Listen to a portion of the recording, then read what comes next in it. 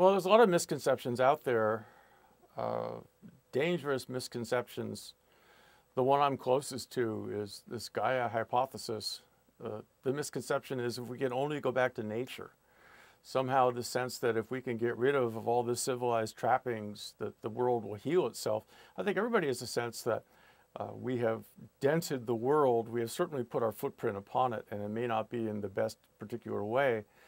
But on the other hand, do you want to see the child misery, the childhood diseases? Do you want to see one out of every, every two babies die of early childhood death? And that's the way it used to be before we began the technology, and the technology in medicine, technology in transportation, and all things. Do we want to go back to that? I personally don't. And if we don't want to go back to that, then we're going to have to recognize that we're going to have a heavy footprint on this planet.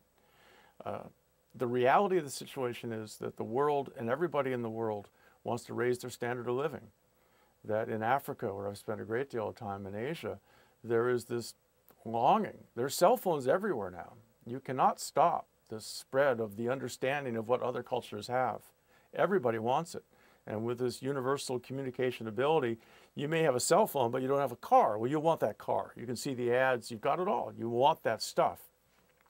We're going to have to figure out how to raise standard of living in a gentle energy fashion or as gently as we can in terms of what's going to happen to the atmosphere. And this is where I personally think there's no stopping the rising sea level, that it's going to happen, that we're going to have to deal with it, that we're going to be moving cities, and that the next two, 3,000 years of human civilization shall be the movement of humans to higher ground.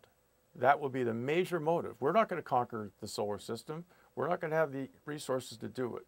We're going to be way too preoccupied with changing the positions of our cities.